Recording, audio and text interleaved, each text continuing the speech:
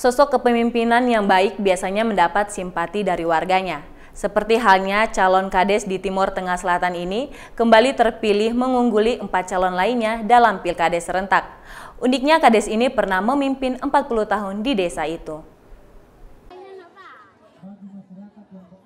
Ratusan warga berdesak-desakan mengikuti proses pemilihan kepala desa serentak yang berlangsung Desa Poli, Kecamatan Santian, Kabupaten Timur Tengah Selatan.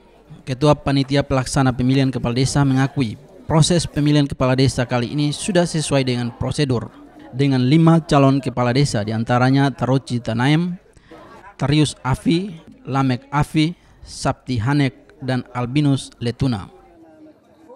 Pada hari ini berjalan dengan baik dari 1670 pemilih dan sudah menentukan menentukan hasil pemilihan dan hasil pemilihan ini suara yang terbanyak adalah Bapak Lamek Afi.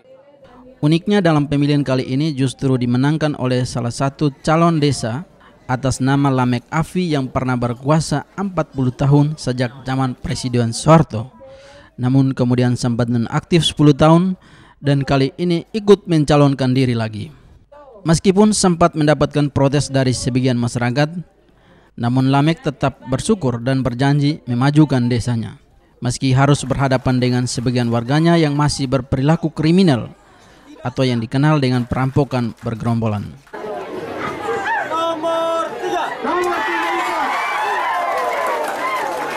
Uh, menurut saya bahwa itu adalah pilihan rakyat.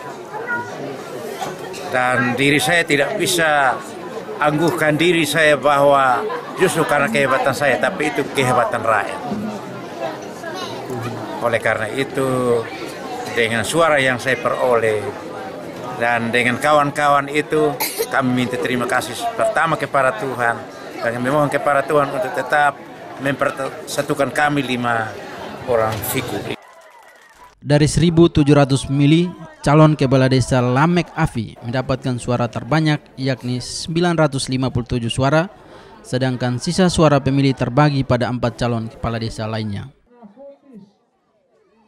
Dari Timur Tengah Selatan, Set Besi, Tim iNews melaporkan.